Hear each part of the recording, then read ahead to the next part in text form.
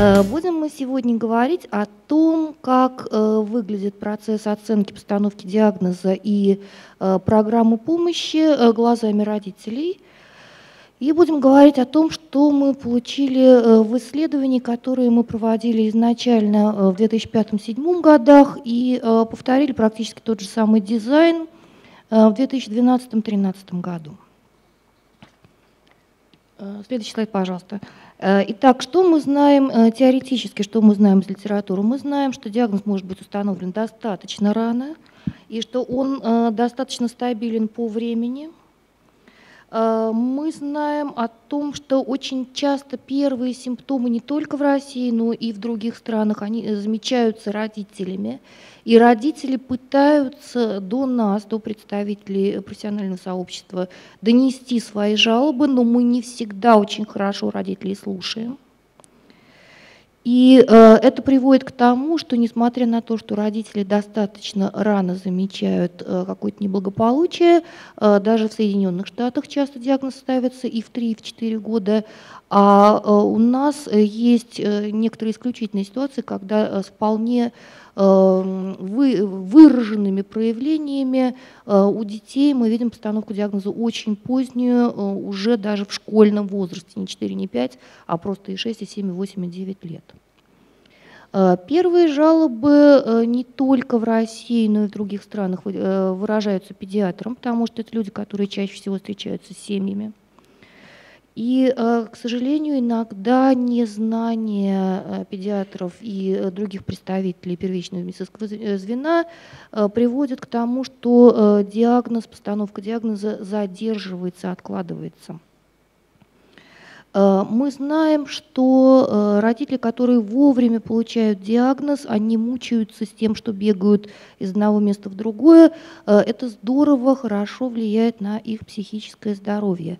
Я помню, когда э, мы начинали со Славой работать, вот 19 лет назад, нам всегда говорили, ни в коем случае при первом подозрении вы не говорите родителям, вы в голове-то себе имеете, но ни в коем случае не пугайте, что вы подозреваете у ребенка расстройство аутистического спектра. Но э, на сегодняшний день считается, что это не так, и э, родители имеют право знать о наших подозрениях, если эти подозрения подкрепляются серьезными наблюдениями, в э, соответствии с э, критериями, которые обозначены в современных э, классификациях. Мы знаем, что не только в России, но и в других странах многие родители считают неправильно поставленные диагнозы одним из главных стрессоров, которые затрудняют их жизнь вообще и жизнь с ребенком. И мы знаем, что уверенность родителей выше Э, когда диагноз ставится достаточно рано. Э, мы знаем, что э, в любом случае, когда ребенку или кому-то из наших близких ставится какой-то диагноз, у нас есть огромная потребность в информации о том, что такое аутизм, что такое программы помощи и где можно их получить. И э, мы знаем, что большое количество родителей, они сами э, пытаются найти эту информацию, зачастую э, не только в России, но и в других странах э, сами подозревают именно э, расстройство аутистического спектра э, задолго до того, как э, ребенок получает официальный диагноз.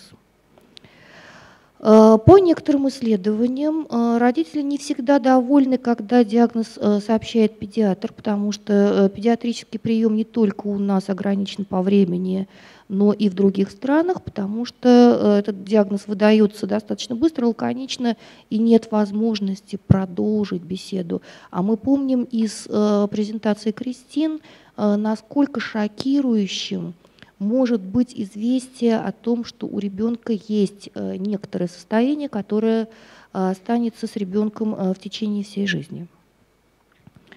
Ну и реакции по поводу постановки диагноза. У нас была прекрасная презентация. Спасибо огромное, Кристин Халл.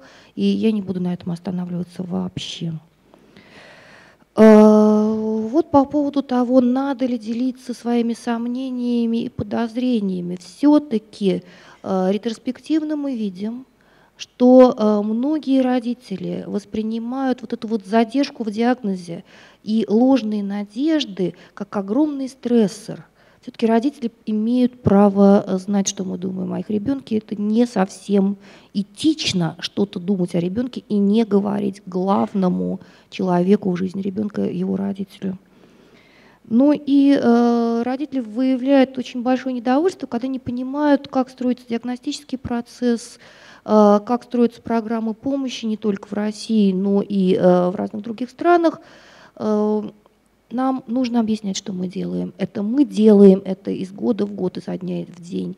Для родителей это необычный процесс. И э, наш родитель не должен являться психологом, неврологом, специальным педагогом. И очень часто наши действия для родителей просто непонятны.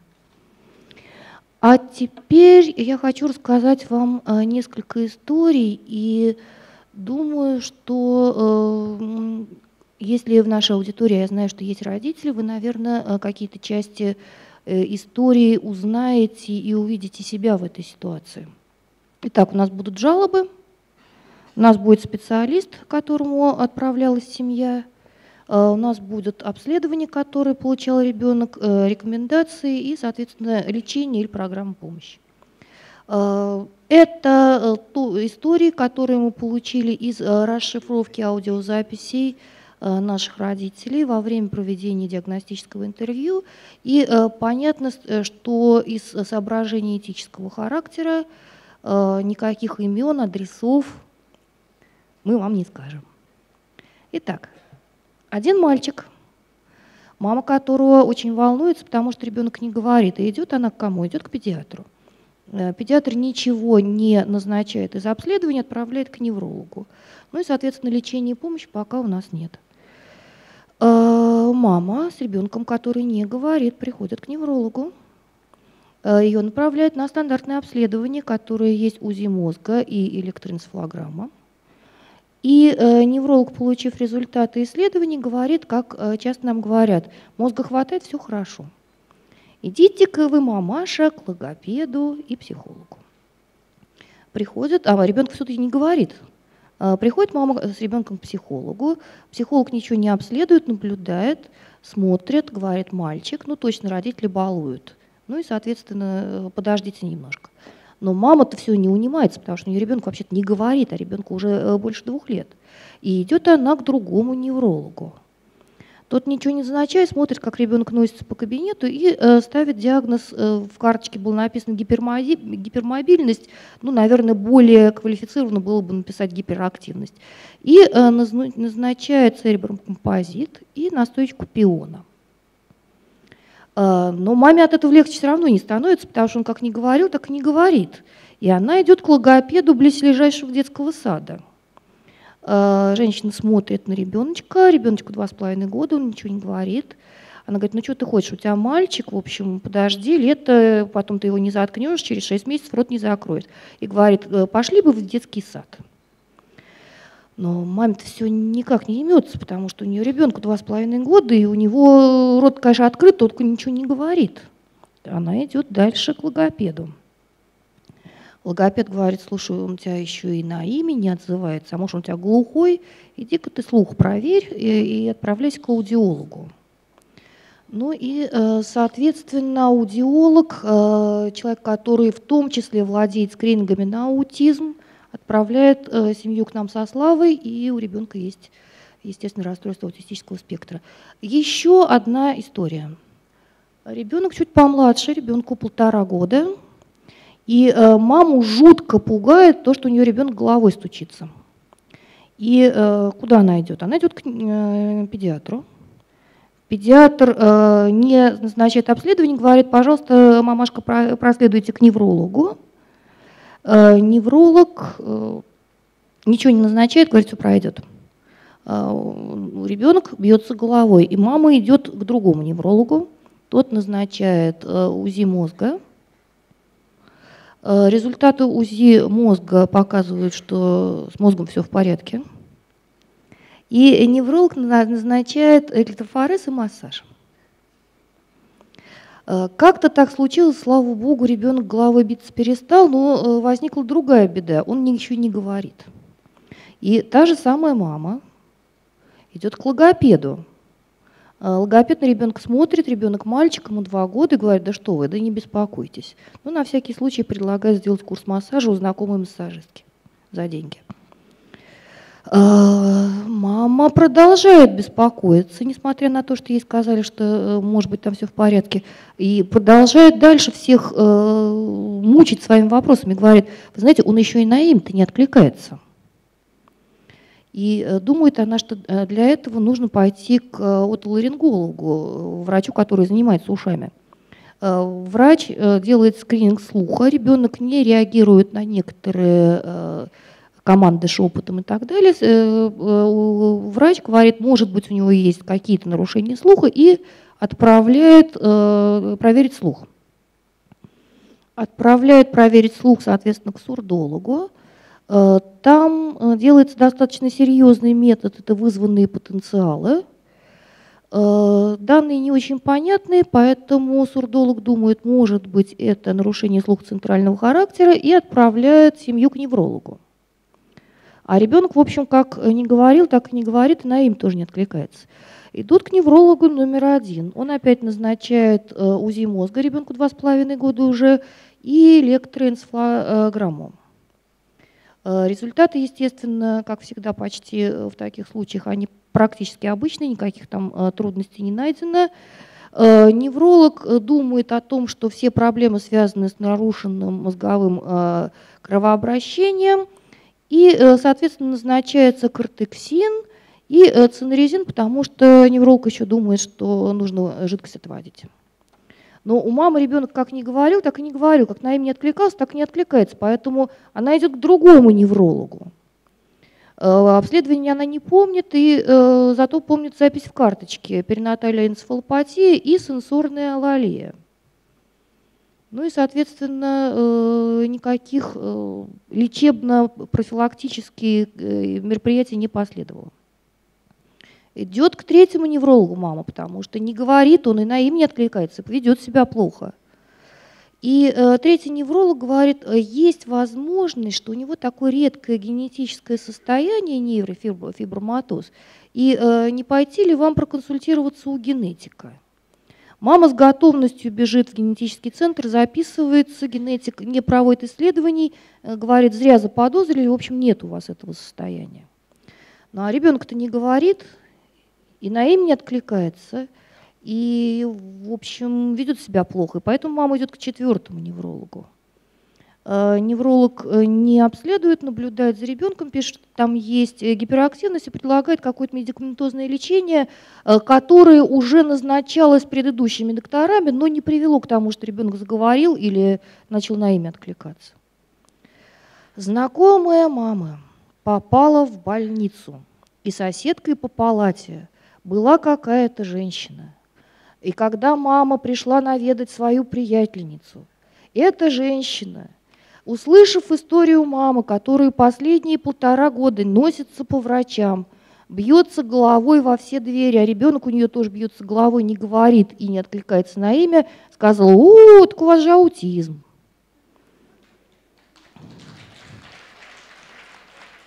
И э, поскольку знакомая просто э, где-то что-то такое читала, она говорит, ну, наверное, э, пойти к психиатру. Они идут к психиатру э, без ребенка. Психиатр говорит, все, э, встаем на учет и будем лечить. Мама испугалась. А теперь мы поговорим, что родители думают о э, программах помощи и программах постановки диагноза. Э, и мы немножко расскажем о том исследовании, которое мы делали.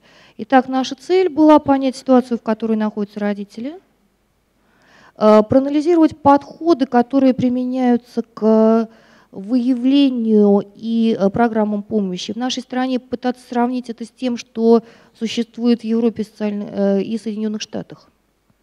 Что мы делали? Ну, книжки мы, естественно, читали, Анализировали мы всю медицинскую документацию, э, которую приносила семья.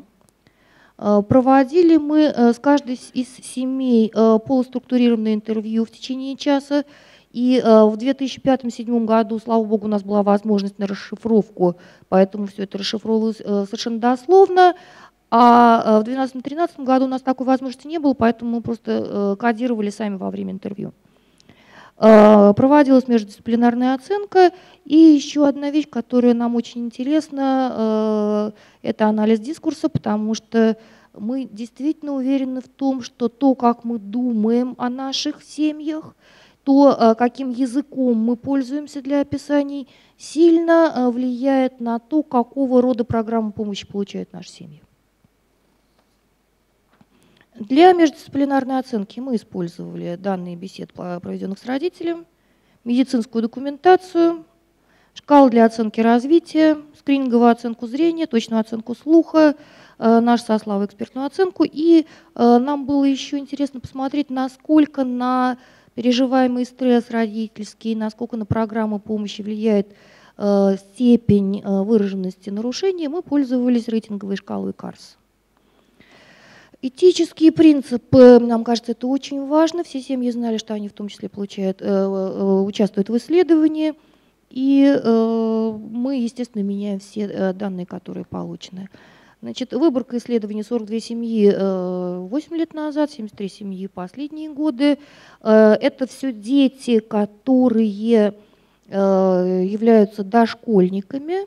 И э, все это семьи, э, которые имеют детей именно с э, расстройствами аутистического спектра. И э, при постановке диагнозов мы пользуемся принятой в России классификацией МКБ-10. Ну и, естественно, сравниваем, э, сравнивали с тогда существующей DSM-4, потому что диагностические критерии, они, в общем, достаточно похожи, э, просто немножечко разным языком э, написаны. Возраст родителей мама от 23 до 42, и папа от 24 до 48 э, лет. Все семьи, кроме одной, до этого неоднократно обращались к различным специалистам по поводу своих волнений, связанных с поведением или развитием ребенка. И э, на, следующем, на следующей части я хотела бы заострить особое внимание. Жалобы большинства родителей практически полностью соответствуют диагностическим критериям МКБ-10, классификации, которые официально используются в России. И это вопрос того, что мы должны слушать наших родителей. Они все говорят как надо, мы не очень хорошо их слушаем. А еще это говорит о том, в каком стрессе может находиться семья, если посмотреть э, на те истории, о которых я только что говорила. Скажите, пожалуйста, родители, сидящие в аудитории, это похожие истории на то, что вам пришлось пережить? Э, говорят, чуть даже приукрашенные.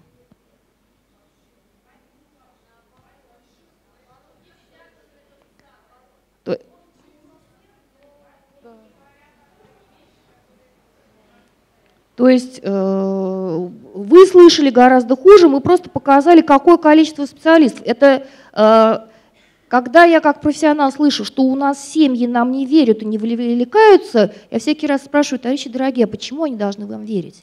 Вы специалист номер 25, который предложит им 25-й диагноз и 26-й вариант излечения. Почему они должны нам верить? Разговору про вот диагнозы, которые чаще всего встречались в выборке в нашей, и которые родители называли как диагнозы, которые э, частенько присутствуют. И э, надо сказать, что вот с 2005 по 2013 произошли, конечно, некоторые изменения, хотя базово, к сожалению, в общем, более-менее остается похожим все. Э, Уменьшилось в некотором смысле количество э, родовой травмы, как-то она у нас выходит из моды, похоже. Ну вот перинатальная энцефалопатия остается присутствует в большом количестве людей. Поменьше как-то стало ММД встречаться. А, но при этом а, все-таки периодически попадается в карточках достаточно большое количество недифференцированных неврологических диагнозов, которые а, можно обозначить как резидуальная органика или энцефалопатия или что-то подобное. А, довольно часто встречается гиперактивность и часто встречается, в общем, по делу, когда действительно у ребенка есть сочетание – в нарушении или расстройства аутистического спектра и, собственно, вот подобных проблем.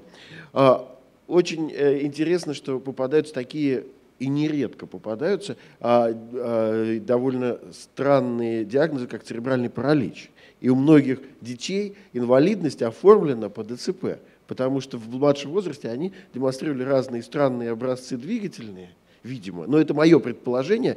И родители часто говорят, нам уже все равно на самом деле. Мы уже получили эту свою инвалидность, ну пусть она будет, нам главное, чтобы нас только там часто не гоняли. Но это просто свидетельствует о том, что на самом деле, к сожалению, мы как а, медицинское сообщество а, не очень представляем себе вот эту вот часть а, э, расстройства аутического спектра у маленьких детей. И зачастую принимаем вот эту симптоматику за совершенно другие состояния.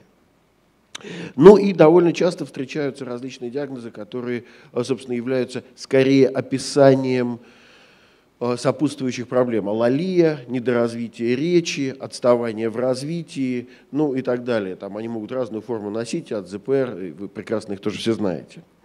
А что появилось нового, что у нас не было, практически не встречалось в 2005-2007 году?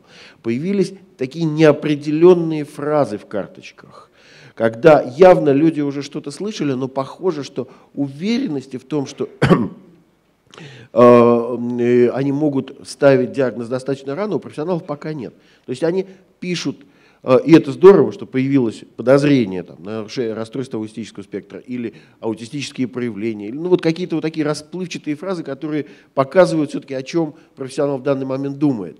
Но при этом они оставляют большое количество неопределенности для семьи. И у меня буквально вот э, за день до того, как мы улетали сюда, э, позвонила бабушка из другого города и, а, стал, и стала быстро-быстро говорить, говорить, можно я вам прочитаю диагнозы из карточки? Я говорю, а что, что, что с вами? Она э, диагнозы стала зачитывать, а в конце там в принципе написано а, аутистические проявления. И я ее спрашиваю, вы хотите со мной посоветоваться по поводу возможного наличия расстройства аутистического спектра у вашего ребенка? Она говорит, нет, этого у нас нет.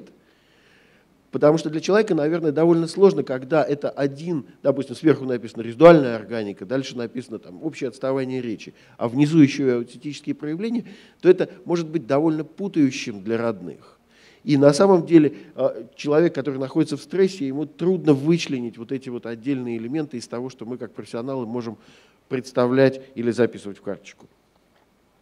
А, ну вот мы каким-то образом попытались свести, мы не претендуем на самом деле на какое-то глобальное описание ситуации или на окончательное знание вот, правды о той ситуации, которая существует там, или какой-то статистики, потому что, конечно, наше исследование очень маленькое, отражает там какие-то, в общем, а, выборки, на самом деле, ведь тех, кто к нам пришел, нашел, кто был достаточно активен и так далее – и мы, э, мы э, не знаем реальную ситуацию, положение дел э, где-то, может быть, в глубинке и так далее.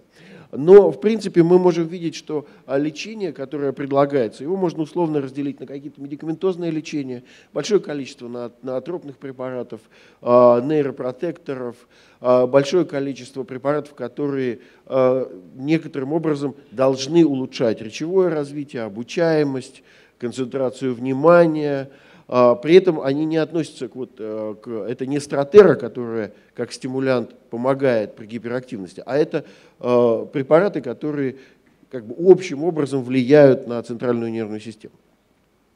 У нас по-прежнему назначают, я не знаю, какие теории за этим лежат и что собираются, в общем, коллеги этим достичь, но назначают и терапию, и остеопатию, разные формы массажа, точечного и прочего, и прочего, а, подразумевая, что это может каким-то образом повлиять на развитие, ускорить развитие языка, речи, понимания и так далее. А, раньше была э, в моде биообратная связь, почти все родители о ней говорили. Теперь э, точно такую же моду вошла детоксикация, вывод всяческих разных там тяжелых металлов, отравляющих веществ, там какие-то куча программ люди скачивают откуда-то из интернета, некоторые профессионалы начинают это советовать. А, популярной остается микрополяризация мозга, которая назначалась раньше, назначается сейчас. А, а, лечение светом, иглоукалыванием. Появились почему-то пиявки. Вот их как-то раньше никто не упоминал, а э, для развития речи в последние годы стали э, родители рассказывать, что вот им э, назначили и что на какие-то особые зоны ставят. Ну и используется э, рисполепт, используются другие психотропные препараты. Э, иногда они используются э, целевым образом при наличии определенных проблем, иногда они используются курсовым методом «может быть, поможет». То есть не, не, в, данном, в таких ситуациях обычно нет какого-то целевого поведения, которое хотят устранить психотропными препаратами, но присутствует общая задача улучшения развития и снятия там, уменьшение количества истерик, возможно, еще чего-то такого.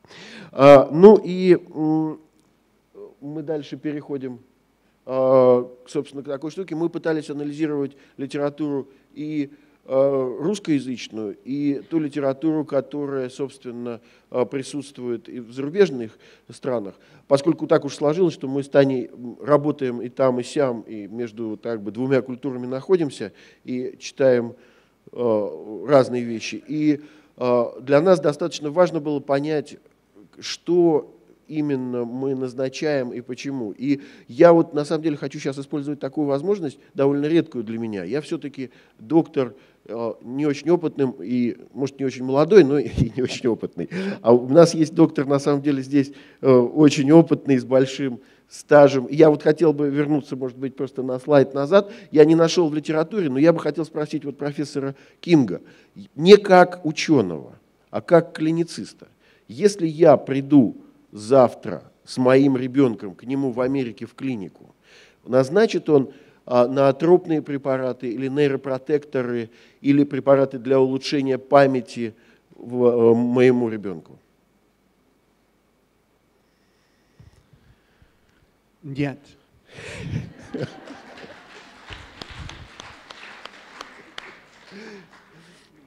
Э, будет, э, и может быть это уже вопросы в том числе и Кони, э, можно ли улучшить речевое развитие, используя массаж, иглоукалывание, светолечение, электрофорез?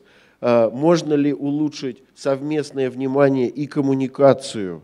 У детей с расстройствами аутистического спектра э, с помощью электрических процедур и микрополяризации мозга. Знают ли они такие моменты? Назначат ли они моему ребенку такое лечение у себя в клинике? No. I wish I knew Russian. No, but no.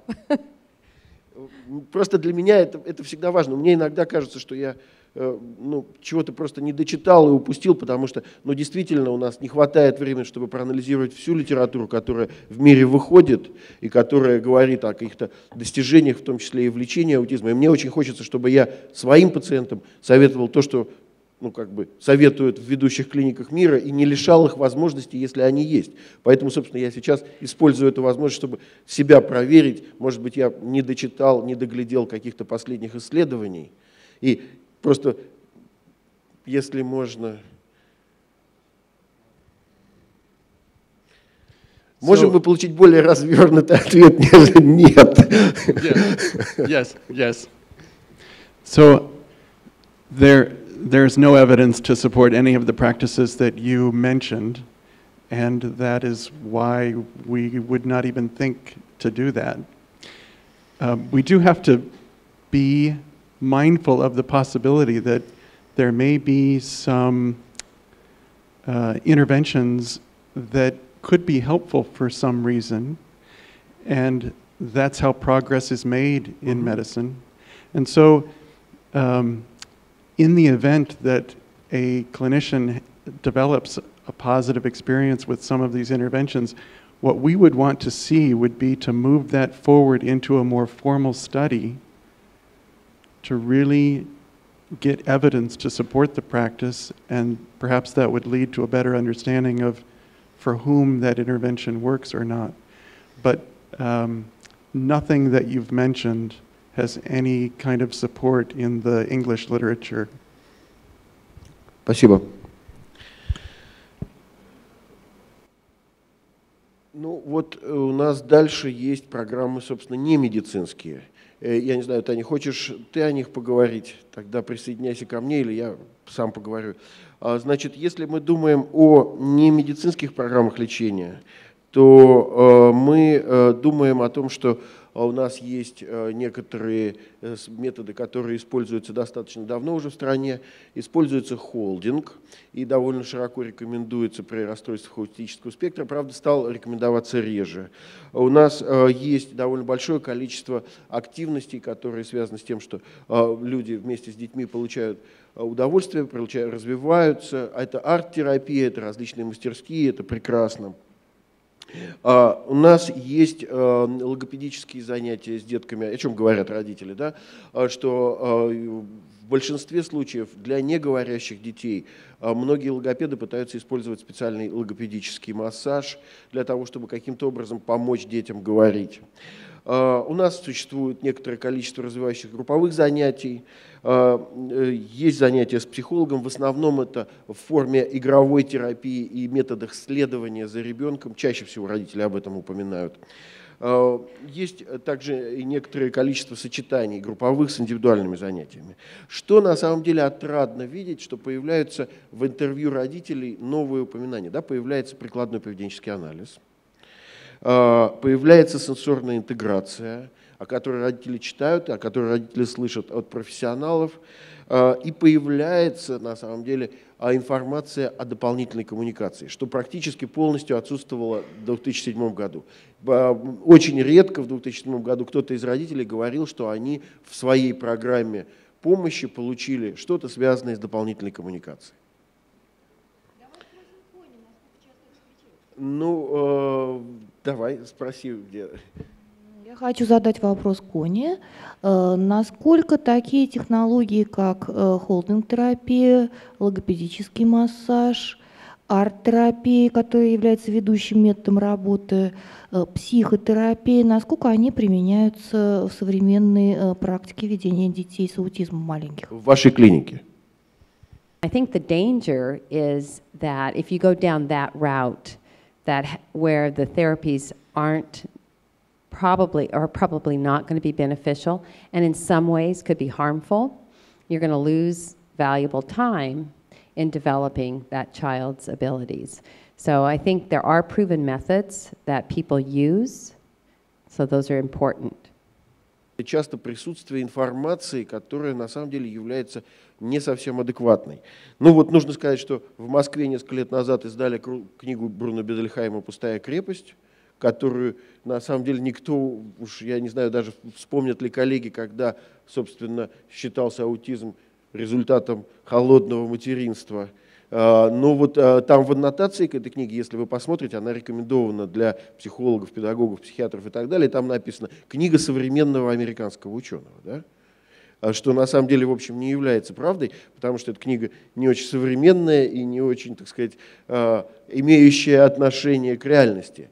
И а, мы, к сожалению, видим, к нам приходят студенты, которые у нас работают в наших программах, которые участвуют в наших образовательных курсах, и вдруг у нас появилась такая э, ситуация, когда вот эту книгу включают в какие-то образовательные куски и дают читать. Может быть, как историю вопроса, я не знаю, но вы понимаете, что такое студент, да, когда он получает две книжки и ему у него нет времени, то он, может быть, выберет ту, которая выглядит поинтереснее, с более провокационным названием, да, и забудет прочитать вторую. А, поэтому это все-таки очень серьезно и для нас важный пункт говорить о том, что большой генетический компонент в расстройствах аутистического спектра присутствует. Нет никаких доказанных связей между холодным материнством и развитием аутизма. И я даже не знаю, нужно ли это подтверждать с нашими американскими коллегами, потому что время бежит, поверьте нам на слово. Если что, в перерыве у них переспросите. И, эм, родители часто видят что и почти уверены, что в общем у ребенка есть расстройство аутистического спектра, зачастую за год раньше, чем они получают такой диагноз официально уже установленный через службу. Это сейчас меняется. В больших городах мы видим чаще все-таки раннюю постановку диагноза в Москве, в Петербурге, в Нижнем Новгороде. А в других регионах это может быть иногда пореже. Хотя наши города настолько большие, что все зависит просто от того, куда, по какому пути первому пошел, собственно, ребенок. И э, тяжелая штука в том, что э, при таком обилии разных рекомендаций родители часто находятся в недоумении, вообще надо лечить, не надо лечить, что с этим совсем делать. А, и на всякий случай, наверное, лучше полечить. Это приводит, конечно, к потерям времени. Все-таки мы знаем, да, что нарастает симптоматика. Если мы не начинаем поведенческие э, стратегии достаточно рано, если мы лишаем человека дополнительной коммуникации, если мы не боремся со стрессом в семье, то мы, конечно, видим детей, которые приходят с гораздо с, э, с симптоматикой, которая развернута в большей степени. Другая крайность, которую выбирают родители, я не буду вообще ничего давать. И прививок делать не буду, потому что все, что говорят, оно непонятно и запутано. И на самом деле, что одно нехорошо, что другое плохо. Э, ну вот э, я хочу остановиться на том, что очень часто у нас появилась тема про прививки. Меня как педиатра и как по, по базовому образованию. Это, конечно, пугает, потому что все-таки а, опасные инфекции, они остаются опасными. И никаких, вот я опять же не знаю точных доказательств о связи вакцинации и развития аутизма. И опять же, Брайан, мне придется спросить вас, да, а, знаете ли вы о такой связи?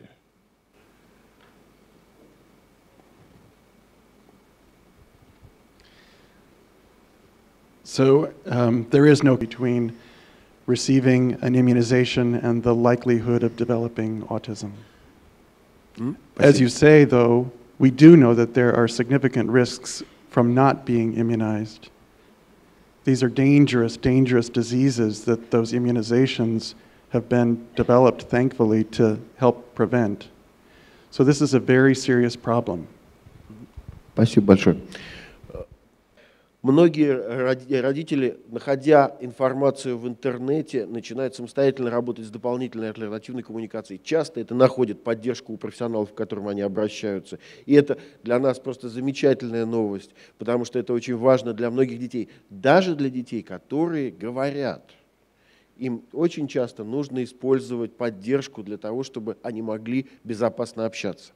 И э, есть, конечно, там сложности. Пока очень часто мы видим, что находится на уровне, когда Педагог уже знает о необходимости дополнительной коммуникации, но еще сложно, допустим, провести оценку индивидуальной потребности. Кому нужны карточки, кому нужны пиктограммы, кому нужны а, реальные объекты, кому-то нужны а, подписи к словам и так далее. И мы видим, что иногда там целая группа детского сада получает одинаковые карточки или одинаковые пиктограммы, и они там на каждой двери просто наклеены. И это просто шаги роста. Да? Мы понимаем, что чтобы на самом деле а, достичь чего-то, наверное, нужно пройти такие вот общие э, человеческие ошибки. С другой стороны, конечно, иногда родители приходят и говорят, мы попробовали и больше не хотим, потому что не помогло. Но а не помогло, скорее всего, потому что, собственно, были взяты какие-то усредненные, неадаптированные под ребенка методы коммуникации.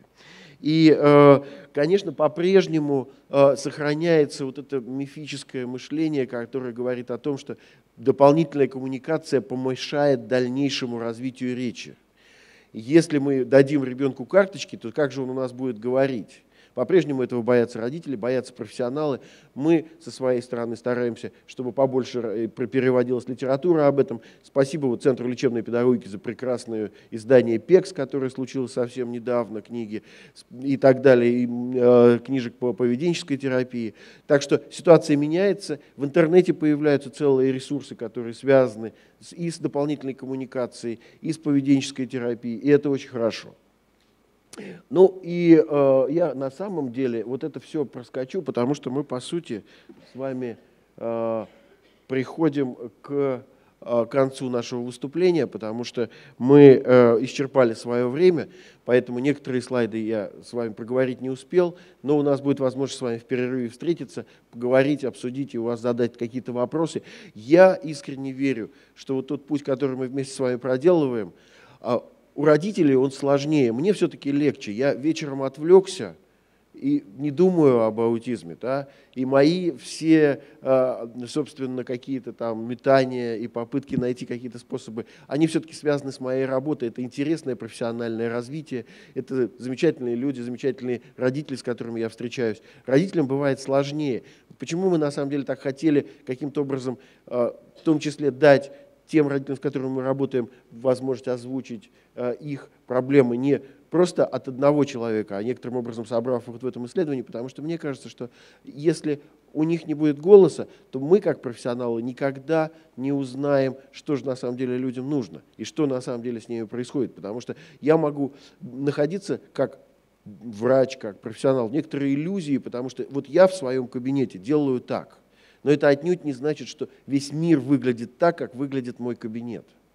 И нам надо с вами думать о том, чтобы вот эта среда, которая есть для семьи, она была комфортной, принимающей, доброй. И она становится такой, она становится все более комфортной, доброй, принимающей. И я очень надеюсь, что мы вместе с вами сделаем что-то очень большое, хорошее. И я благодарен людям, которые эту конференцию устроили. Спасибо вам всем. Thank you.